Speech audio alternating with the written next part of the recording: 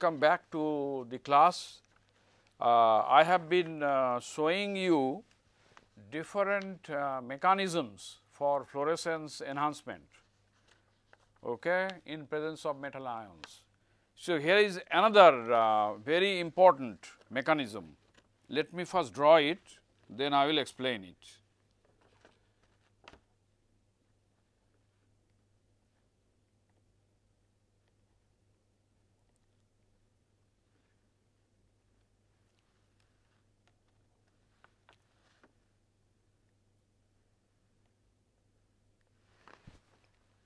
Okay.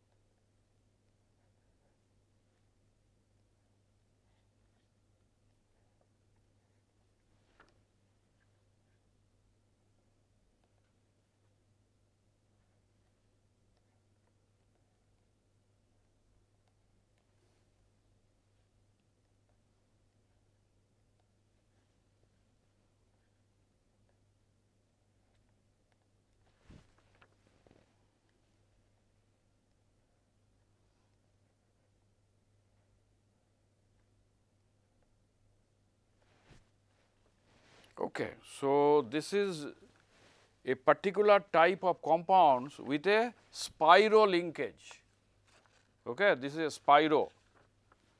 Okay. This is a spiro compound and they are also known as rhodamine.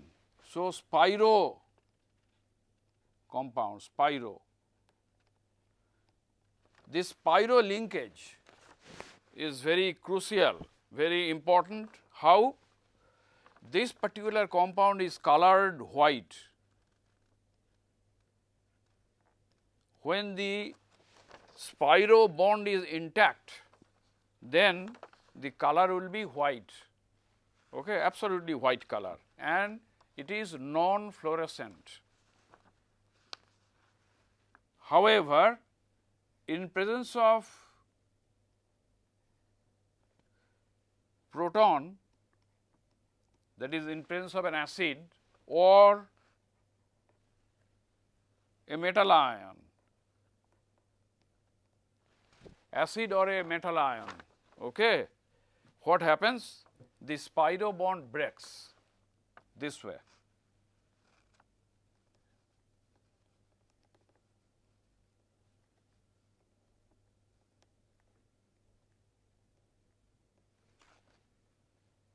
All right.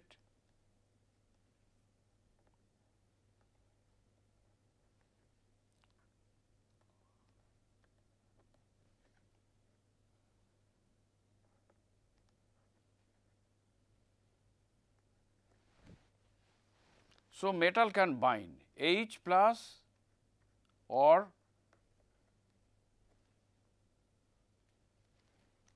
instead of or like this I will I will write like this or M n plus and they will bind here okay?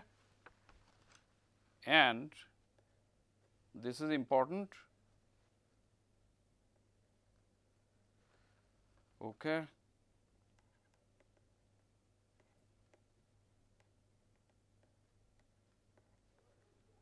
aromatic.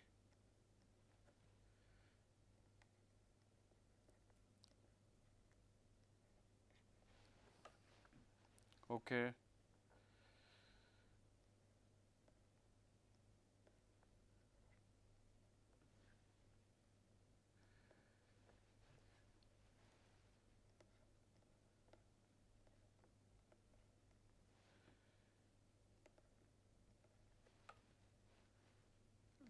me draw it nicely.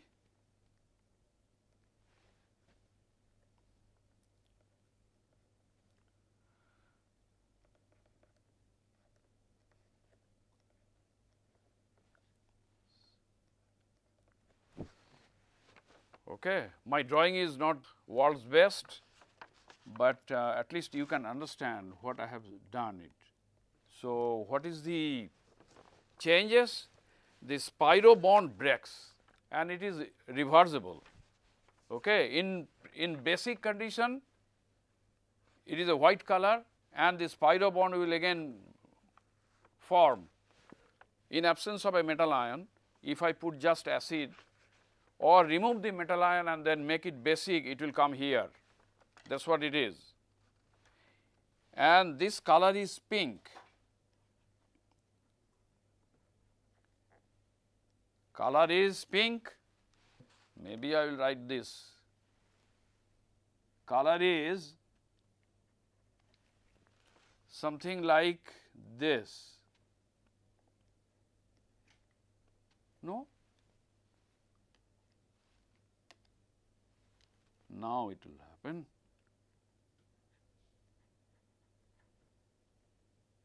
Color is pink of this material and see this elongated conjugation. This is very high fluorescence. Okay. So, this spiro bond, this spiro compound, there are many possibilities there because I can change the R group by many by by other group so that this, this is the receptor site. This receptor site can be recognized by a particular metal ion. Okay? And when you give that, this bond breaks and make, make a, this kind of molecule okay, with an extended conjugation. Because of that, it is a very dark color, pink color and highly fluorescent while this this is white and non-fluorescent. Okay. So, now here is an compound this is called rhodamine beta rhodamine B hydrazide. Okay. So, similarly rhodamine G there are many compounds like that. Let me write let me write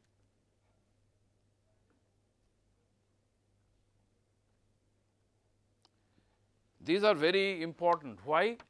Because these are uh, these has photo stability means they do not decompose and they change from 0 fluorescent to high fluorescent. So, they are very very sensitive and can be easily detected with naked eye because you give a white color and then you give a metal ion it color turns to pink. So, you can easily detect you can say that spiro bond is broken and metal is bound. That is why I am observing a pink color and it is highly fluorescent.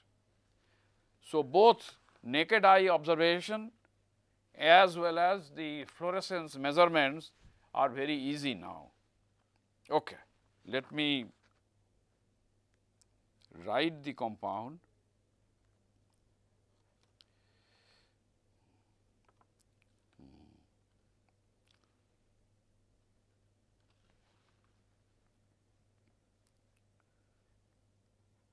N NH2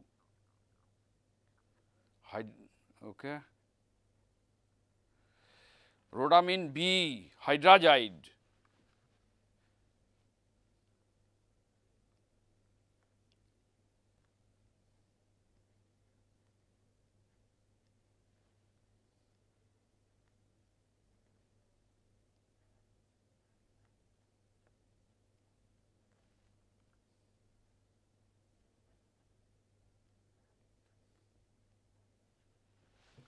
okay.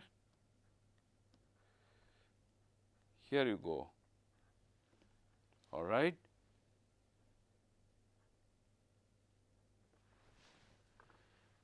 Yes. So this is what it is. Okay.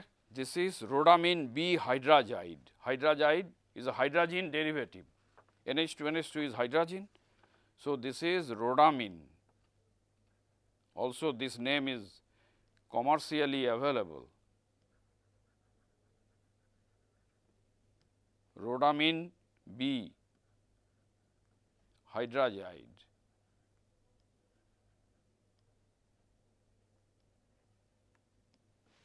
This hydrazide I can further react it with another reagent. So, we have a we can make a large number of this kind of spiro compound okay?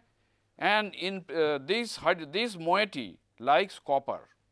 So, so when I put copper 2 plus okay, if I remove copper 2 plus and basic it will come to there. This is a white color. Okay, you put copper and again again not there not there again it will become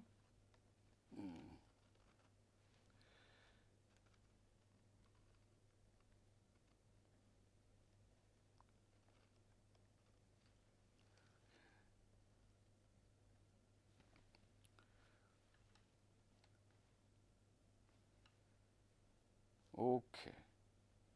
This one double bond N, single bond NH2, here it is a O minus. So, copper binds here, okay. copper will bind here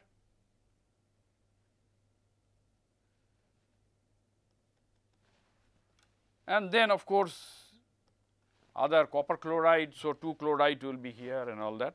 So, copper binds here and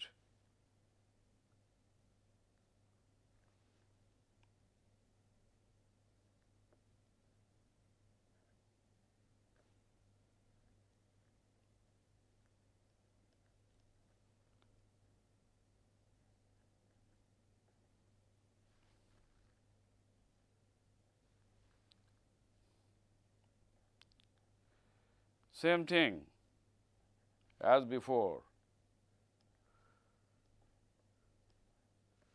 Okay.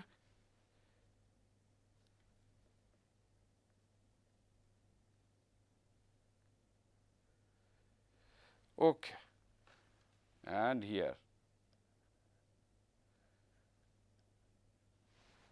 And it gives a it gives a very strong color copper. So, copper can be and with high fluorescence. So, copper can be easily detected. So, here is a compound. So, this kind of compound here is one uh, spiro compound which are more recent than those other fluorophore that I have been discussing. So, this is a exactly different bond breaking and bond making. So, uh, the, uh, depending upon bond breaking it will become colored because of extended conjugation it become colored and after bond making bond making with base with removal of copper from here and then make it basic it will come back here. So, it is a reversible with chemicals of course and is highly sensitive. Okay. So, for different metal ion what we could do? We could actually change this part. This part can be changed keeping this spiro bond same. We can put aldehyde to make Schiff base so on and so forth. So, many many spiro compounds have been synthesized for different type of metal ions. So, this is another very important uh, compound. Okay. While talking about spiro bond, I will show you one examples that we did, we carried out. Okay. We carried out like this. Let me first draw the molecule.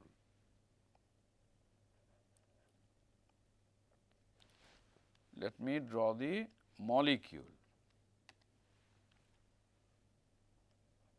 N. Oxygen same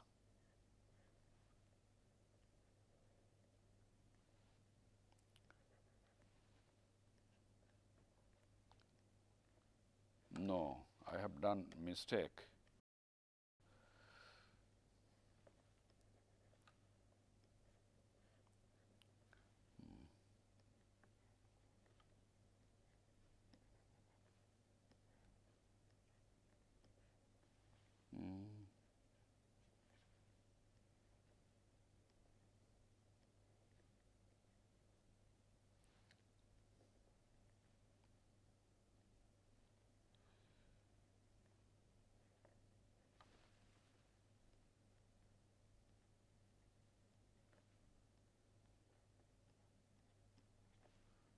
let me write the aromatic like this. Okay. So, now here we have done with a rhodamine 6 G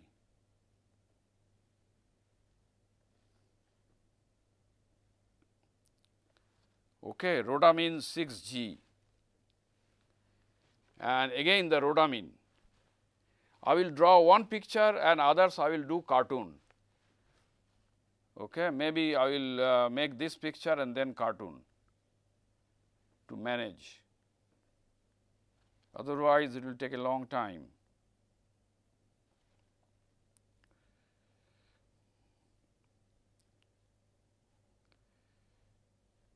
N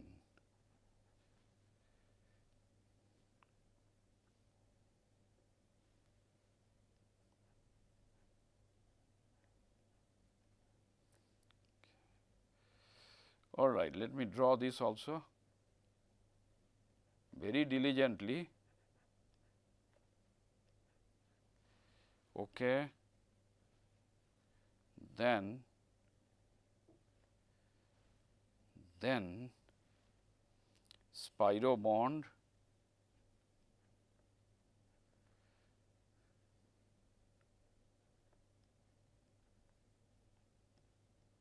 spiro bond here. Oxygen. No not oxygen.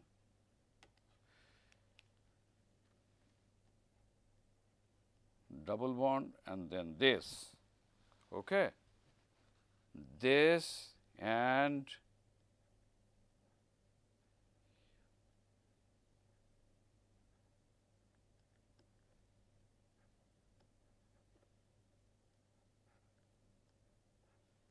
Okay.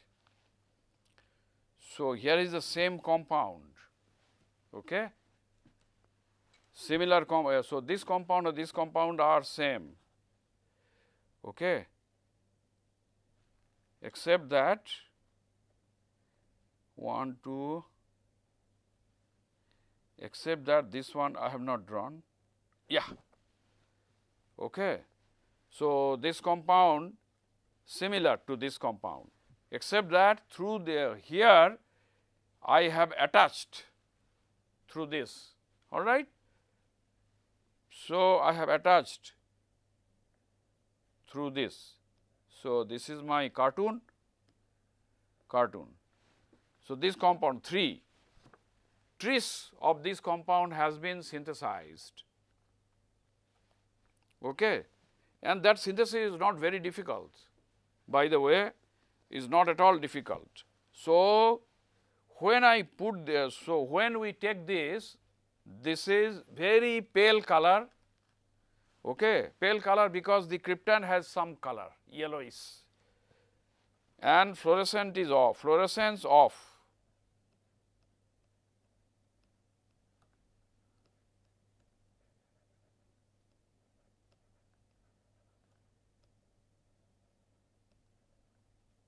Fluorescence off.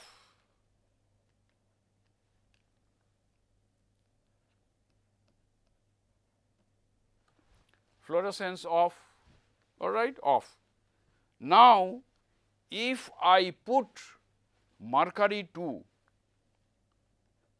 in aqueous medium, it can bind mercury 2. There are so many other metal ions, okay, metal ions in biology, our in our body transition metals, alkali metals, so on and so forth, but only mercury 2 plus binds it and breaks it.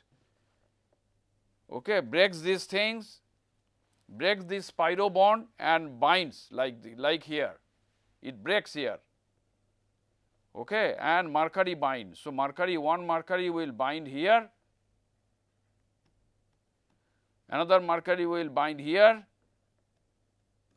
Three mercury can bind mercury ions, one each. It can bind it is a dark purple, dark pink color and very strong fluorescence. Fluorescence will be on. So, when mercury is present, fluorescence is on. So, mercury and what is the detection limit? This is very important. This detection limit is 3 ppm.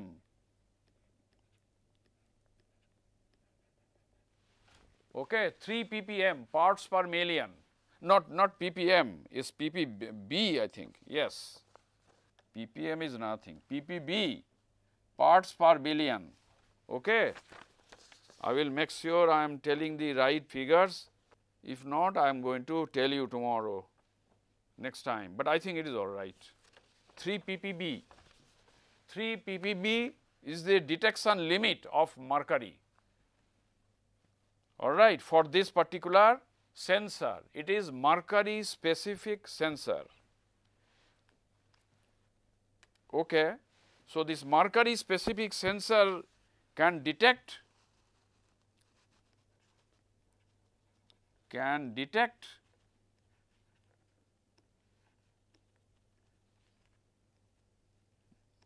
mercury 2 plus in water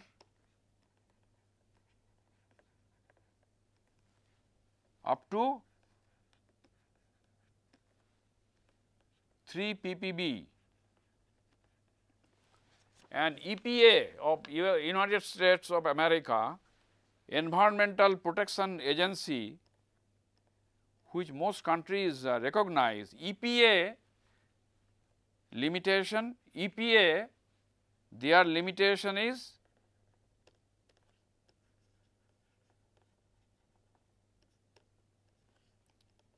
is 6 ppb.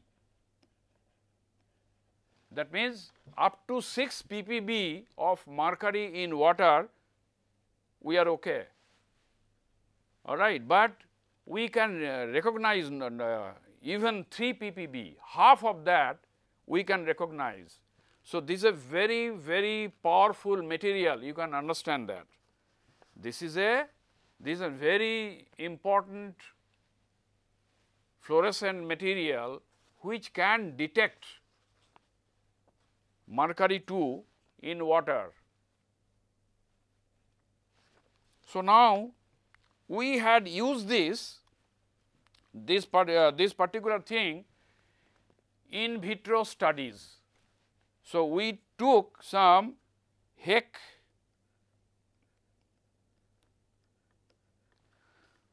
HEK 293 cell lines, cell lines. HEK 29, HEK 293, what is that?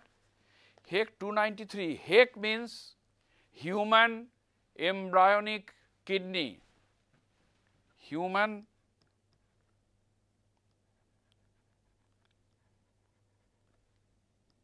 embryonic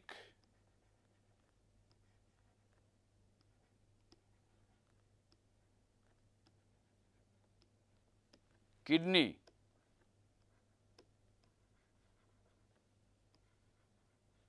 kidney cell.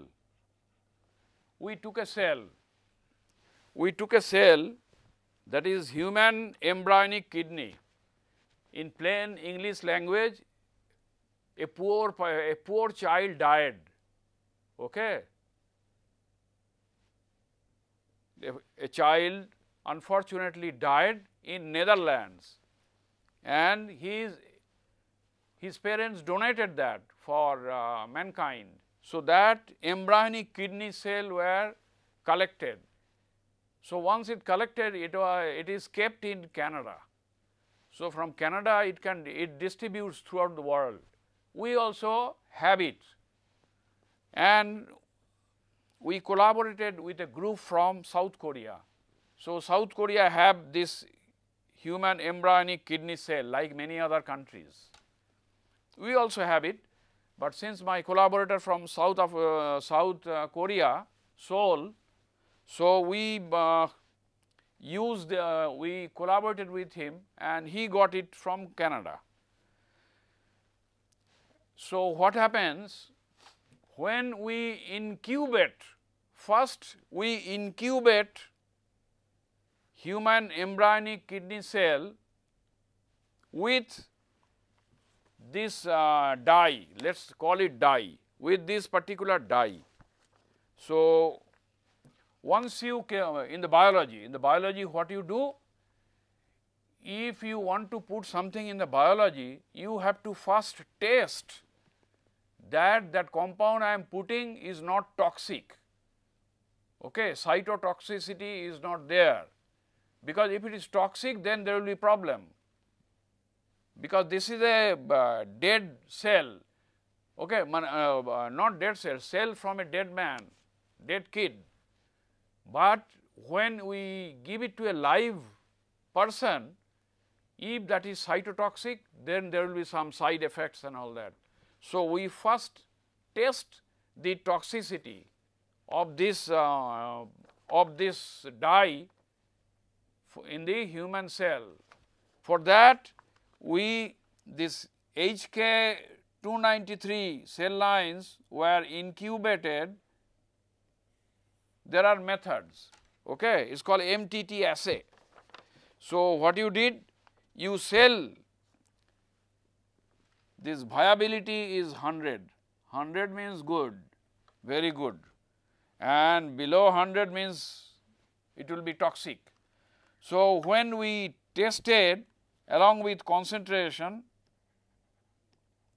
concentration we find you have to do that also same. That means, it is not toxic up to this kind at least up to this concentration. Okay. So, fine.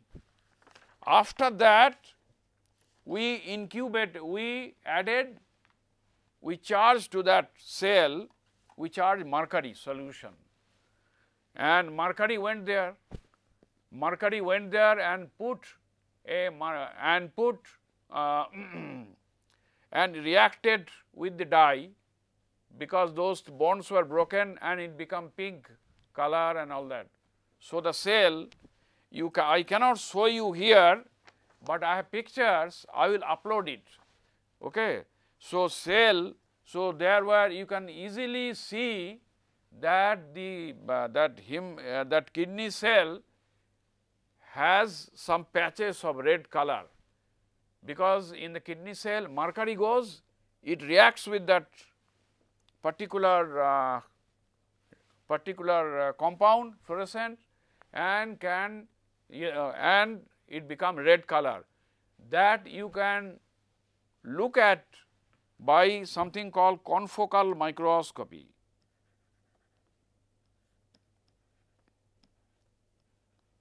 Confocal microscopy.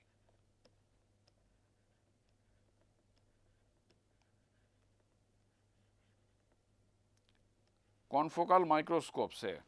So, a confocal microscope if you look at it you can see very clearly. That means if somebody is unfortunately has mercury inside gone inside he will die. Okay? That fellow will die. So first what you have to do? We have to locate it. So we'll inject this dye why we will inject the dye? Because this dye is no toxicity, okay? we have tested. So, we will inject that dye, the dye will go everywhere and then you inject mercury, I mean uh, uh, dye will go everywhere and mercury wherever mercury is there, it will glow, it will fluoresce. So, that we can see from confocal microscopy. So, you can see and you can know concentration also from its, there are ways to know its concentration. So, we again treat that for mercury removal from body. Once you remove the mercury from body, then again you again you charge the dye little bit and then again see confocal microscopy.